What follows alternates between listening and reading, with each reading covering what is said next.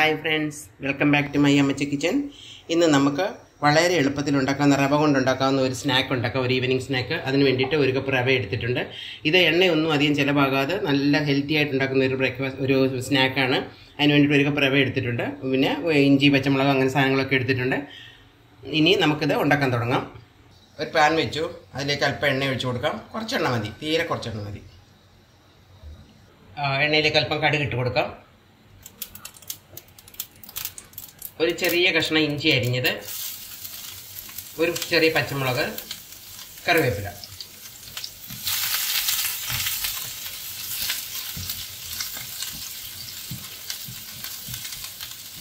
ഇഞ്ചിയും പച്ചമുളകും കറിവേപ്പില എല്ലാം നല്ലതായിട്ട് മൂത്തു. ഇനി നമുക്ക് ഒരു ശകലം ചില്ലി ഫ്ലേക്സ് ഇട്ട് കൊടുക്കാം. ഇനിയും ഞാൻ ഒരു ഇരുന്നൂറ്റമ്പത് ഗ്രാം അളവിൽ റവയാണ് എടുത്തിരിക്കുന്നത്. അപ്പോൾ അതിന്റെ ഇപ്പം നമ്മൾ ഏത് ബോളിൽ വെള്ളം റവ എടുക്കുന്നു അതിന്റെ ഇര ഒന്നര വെള്ളം ഒഴിച്ചു കൊടുക്കണം.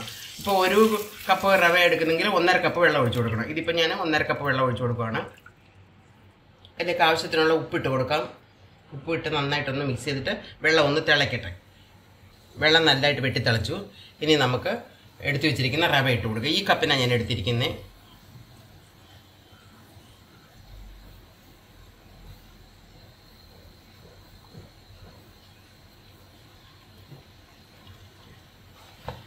തീ അല്പം കുറച്ച് വെച്ചിട്ട് നന്നായിട്ട് മിക്സ് ചെയ്ത്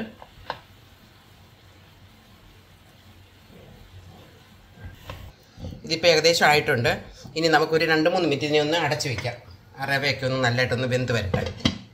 ഇപ്പം തുറന്നു നോക്കി. നല്ലതായിട്ട് ഇളക്കി ഒന്നുകൂടെ ഒന്ന് മിക്സ് ചെയ്യാം.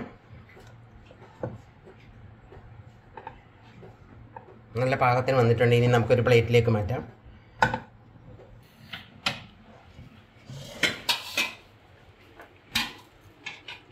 അല്പം ഒന്ന് ആറട്ടെ. ഇത്ര ചൂടോടെ നമുക്ക് കൈയിടാൻ പറ്റത്തില്ല. അല്പം ഒന്ന് ആറിയിട്ട് നമുക്ക് അതിനെ നന്നായിട്ടൊന്ന് കുഴച്ചെടുക്കാം.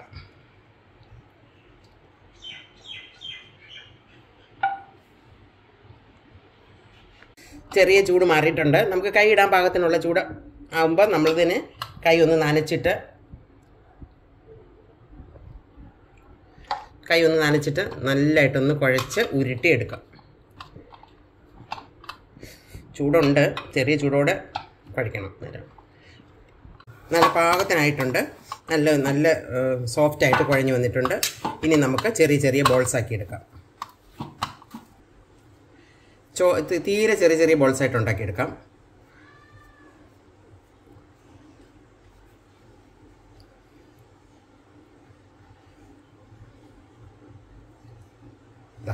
ഇങ്ങനെ ഇങ്ങനെ ചെറിയ ചെറിയ ബോൾസ് ആക്കി ഉണ്ടാക്കിയെടുക്കാം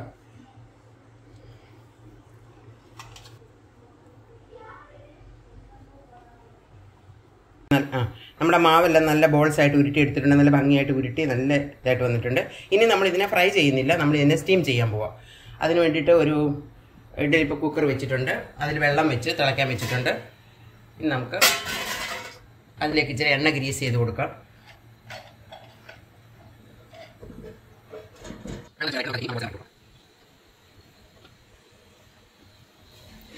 എല്ലാം പറക്കിയിട്ടു ആവി വന്നിട്ടുണ്ട്. നമുക്ക് ഇനി അടച്ചു വെക്കാം. ഒരു പത്തിരുപത് മിനിറ്റ് സ്ലോ ഫ്ലെയിമിൽ ഇത് നന്നായിട്ട് ഇരിക്കട്ടെ ഇപ്പോൾ ഒരു പതിനഞ്ച് മിനിറ്റ് ആയിട്ടുണ്ട്. നമുക്കൊന്ന് തുറന്ന് നോക്കാം. ആയിട്ടുണ്ട്. കാരണം അതിന്റെ കളറൊക്കെ ചേഞ്ച് ചെയ്ത് നല്ല ഡിഫറെന്റ് ആയിട്ട് വന്നിട്ടുണ്ട്. പിന്നെ നമുക്കിനി ഇത് സ്റ്റീമറിൽ നിന്ന് മാറ്റി അല്പം നേരം ഒന്ന് തണുക്കാൻ വെക്കാം. നല്ല മണം വരുന്നു. മാറ്റി വെച്ചിട്ടുണ്ട്. എന്നാൽ അല്പം ഒന്ന് ആറട്ടെ. ആ സമയം കൊണ്ട് നമുക്ക് ഇതിനൊരു അല്പം ഒരു കടു വറക്കുന്ന പോലെ വറുത്തെടുക്കാം. അതിന് വേണ്ടിയിട്ട് ഒരു പാൻ വെച്ചു. പാനിലേക്ക് അല്പം എണ്ണ ഒഴിച്ചു കൊടുക്കാം അല്പം കടുക് കുറച്ച് ജീരകം അത് രണ്ടും നല്ലതായിട്ട് പൊട്ടിട്ട് ഒരു സ്പൂൺ എള്ള വെള്ള എള്ള. അല്പം കറിവേപ്പിലയും ഒരു പച്ചമുളകും.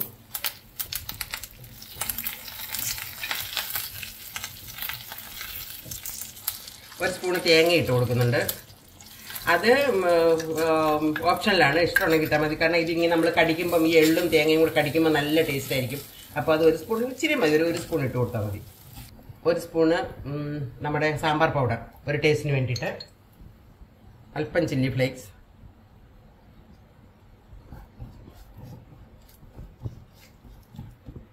അല്പം കായപ്പൊടി.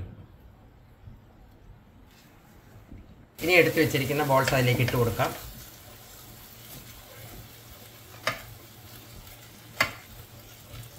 നന്നായി മിക്സ് ചെയ്ത്.